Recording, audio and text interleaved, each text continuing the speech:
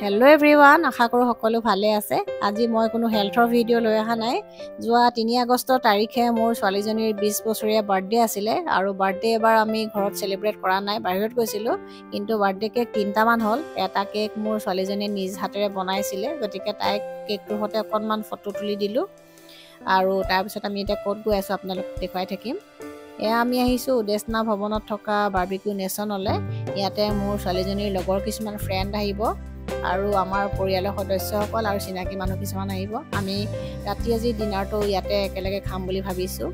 আৰু এইটো কেক দেখিছেনে? এইটো মোৰ ফ্ৰেণ্ড আৰু ভণ্টি। দীপানিতা গগৈয়ে বনাইছে। তাই বনোৱা কেকটো আপোনালোকক দেখুৱাইছোঁ। চাওকচোন কিমান ধুনীয়াকৈ তাই ডেক'ৰেট কৰিছে। সন্ধিয়া চাৰে ছটামান বজাতে আমি ইয়ালৈ আহিলোঁ। তাৰপিছত এজন দুজনকৈ গেষ্ট আহি আছে। এয়া আমাৰ কেম্পাছতে থকা এটা পৰিয়াল। আৰু মোৰ ছোৱালীজনীৰ ফ্ৰেণ্ডবিলাকো এজন দুজনকৈ আহি আছে। এয়া মোৰ নিজৰ মা সৰু ভাইটি আৰু আমাৰ কেম্পাছত থকা এটা পৰিয়াল। এওঁলোকো আহি পাইছে আৰু মায়ে অহাৰ লগে লগে নাতিনীয়েকক গিফ্ট এটা দিছে। মাৰ মানে হেঁপাহৰ অন্ত নাই। নাতিনী বা নাতিকেইটা সদায় ঘৰতে লগ পাই থাকে যদিও। মৰমৰ যেন কেতিয়াও শেষ নাই এনেকুৱা লাগে।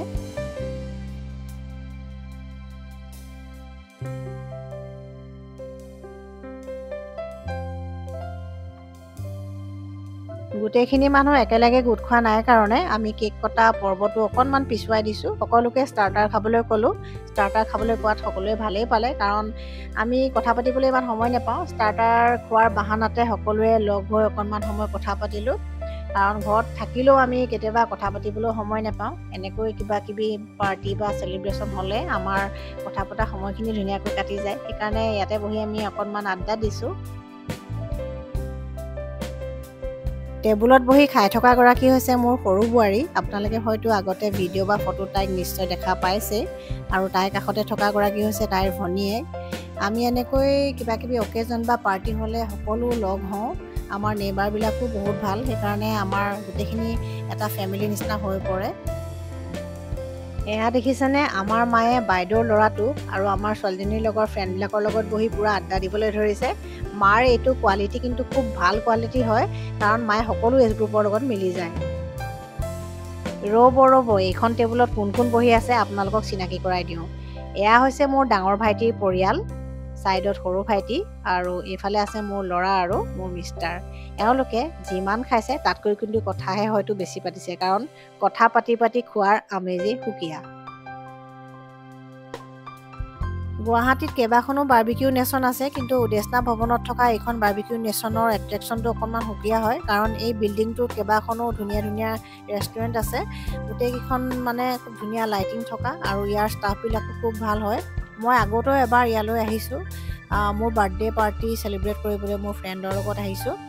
আচলতে ঘৰত কেতিয়াবা পাৰ্টি এৰেঞ্জ কৰিবলৈ যদি অসুবিধা হয় তেতিয়া ৰেষ্টুৰেণ্টতে এনেকৈ সুবিধা মিলাই আমি আহিব পাৰোঁ।